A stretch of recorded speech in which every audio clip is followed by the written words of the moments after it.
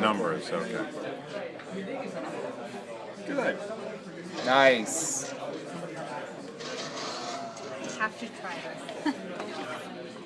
Now, there are other powers too.